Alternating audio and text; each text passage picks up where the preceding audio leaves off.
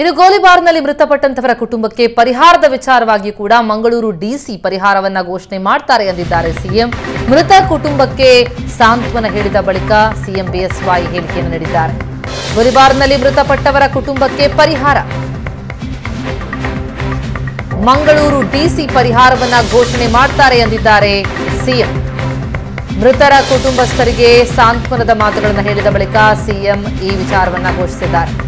BJP ಯಾವುದೇ ಧರ್ಮವನ್ನ ನಿರ್ಲಕ್ಷಿಸುವುದಿಲ್ಲ. Hindu, Muslim, ಕ್ರೈಸ್ತರು ಎಂಬ ಭೇದ ಭಾವ ಇಲ್ಲ. ಯಾವುದೇ ಭೇದ ಭಾವವನ್ನ ಬಿಜೆಪಿ ಸರ್ಕಾರ ಮಾಡ್ತಾ ಇಲ್ಲ ಅಂತ ಸ್ಪಷ್ಟಪಡಿಸಿದ್ದಾರೆ.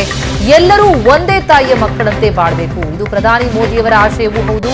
ಸಬ್ಕಾ ಸಾಥ್, ಸಬ್ಕಾ ವಿಕಾಸ್, ನಮ್ಮ ಗುರಿ ಅಂತ ಮಂಗಳೂರಿನಲ್ಲಿ ಸಿಎಂ ಯಡಿಯೂರಪ್ಪ ಪ್ರತಿಕ್ರಿಯಿಸಿದ್ದಾರೆ.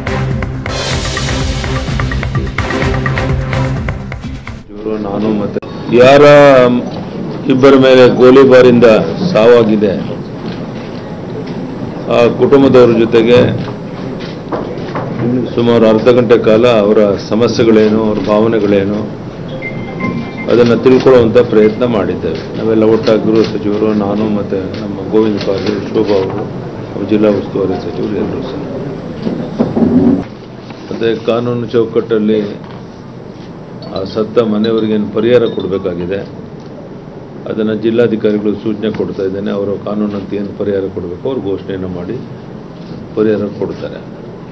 ಅದಾದಮೇಲೆ ಅದಕ್ಕೆ ಮುಂಚೆನೆ ಕ್ರಿಶ್ಚಿಯನ್, ಮುಸ್ಲಿಂ ಅನೇಕ ಹಿರಿಯ ಮುಖಂಡಗಳು ಇಲ್ಲಿಯ ಸ್ಥಿತಿಗತಿಗಳ ಬಗ್ಗೆ ನನಗೆ ಮನವರಿಕೆ ಮಾಡಿಕೊಡುವಂಥ ಪ್ರಯತ್ನ ಮಾಡಿದ್ರು. ಅವ್ರ ಜೊತೆಗೂ ಸಹ ಸುಮಾರು ಅರ್ಧ ಗಂಟೆ ಕಾಲ ಬಂದ ತಕ್ಷಣ ಅವ್ರ ಜೊತೆಗೆ ಸಮಾಲೋಚನೆಯನ್ನು ಮಾಡುವಂಥ ಪ್ರಯತ್ನ ಮಾಡಿದ್ದೆ.